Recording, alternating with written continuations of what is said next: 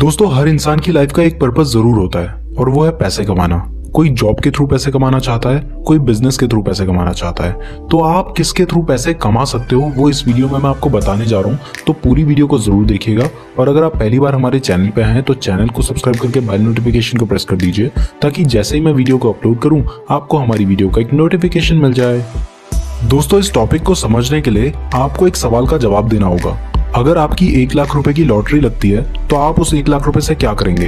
क्या आप आईफोन खरीदेंगे, घूमने जाएँगे, या फिर और कोई पर्पस जो आप उस एक लाख रुपए से करना चाहेंगे, वो कमेंट करके ज़रूर बताइएगा। मैं थोड़ा आगे इसका रिप्लाई करूँगा और वहाँ से आप सब कुछ समझने लगेंगे।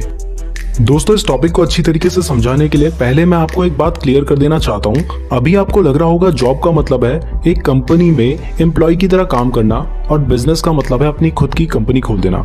यहाँ तक बिल्कुल सही है।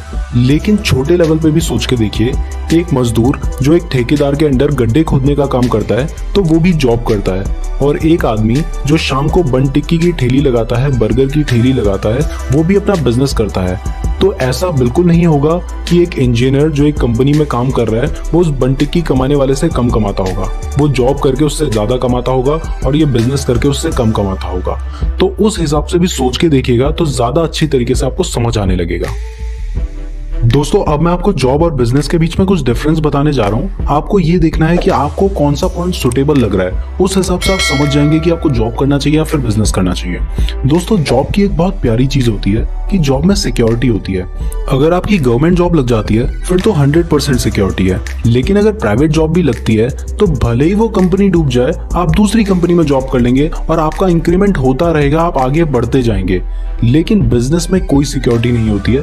हो सकता है आपने आज अपनी कंपनी शुरू की या फिर अपना बन टिक्की का ठेला शुरू किया। आज आप बहुत ज़्यादा पैसे कमा लें, लेकिन एक महीने बाद आपकी कंपनी डूब जाए या फिर आपके ठेले के सामने कोई और दूसरा ठेला खोल दे और आप बिल्कुल भी अर्निंग ना कर पाए। तो कोई सिक्योरिटी नहीं होती है बिज़नेस में। अब दोस्तों जॉब जो होती है, वहाँ पे फिक्स्ड इनकम होती है। अगर आपकी एक क्लर्क की जॉब लग जाती है तो आप forty thousand rupees per month कमाएँगे। लेकिन आपने अपनी कंपनी शुरू की। हो सकता है आपकी कंपनी बहुत ज़्यादा चल जाए, आप पहले महीने में ही पचास हज़ार रुपए पर मंथ कमाने लगे और हो सकता है आप एक साल बाद भी पाँच हज़ार रुपए पर मंथ कमा रहे हो। तो कोई फिक्स्ड इनकम नहीं होती है बिज़नेस में। तीसरी चीज़ जॉब में होती है, आपको रिस्क लेने की कोई ज़रूरत नहीं है और आपको अपने माइंड को अप्लाई करने की ज़रूरत नहीं है। लेकिन बिज़नेस में आपको रिस्क भी लेना पड़ेगा, अपने माइंड को अप्लाई करके देखना होगा और नए नए तरीके लाने होंगे बिज़नेस करने के। तो आप क्या चीज़ कर सकते हैं? उस हिसाब से आपको सोचना चाहिए कि आपको बिज़नेस करना चाहिए या फिर आपको जॉब करनी चाहिए। अब दोस्तों, मैंने आपसे एक सवाल पूछा था कि अगर आपको एक लाख रुपए की लॉटरी लगती है तो आप उस पैसे से क्या करेंगे?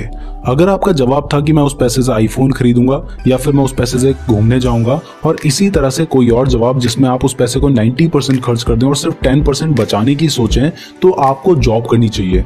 क्योंकि आपको नेक्स्ट मंथ भी इनकम हो जाएगी और वो फिक्स रहेगी।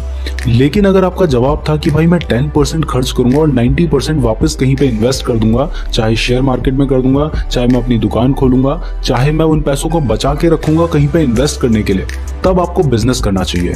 क्योंकि मान लीजिए, अगर आपके पिताजी की एक दुकान है, और वो दुकान आपको पिताजी के थ्रू मिल जाती है, और आप उस दुकान पे बैठते हैं। अब मान लीजिए कि उस दुकान की फिक्स्ड इनकम है, दस हज़ार आप हर महीने कमा ही लेते हैं। तो हो सकता है भाई कि आपने पहले महीने दस हज़ार कमाए और दस के दस उड़ा दिए। अगले महीने कमाए, दस के दस उड़ा दिए तो आप कभी भी बिज़नेस में आगे नहीं बढ़ पाओगे।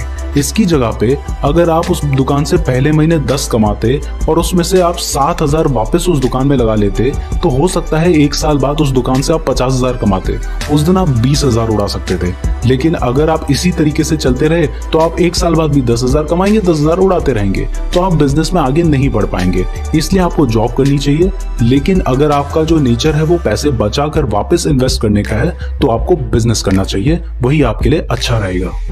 दोस्तों, वीडियो अच्छी लगी है तो चैनल को सब्सक्राइब करना ना भूलिएगा। लाइक ज़रूर कीजिएगा वीडियो को और कमेंट करके ज़रूर बताइएगा आपको वीडियो कैसी लगी है। आप चाहते हैं तो मुझे इंस्टाग्राम पे फॉलो कर सकते हैं। लिंक इस वीडियो के डिस्क्रिप्शन में दिया गया है। धन्यवाद।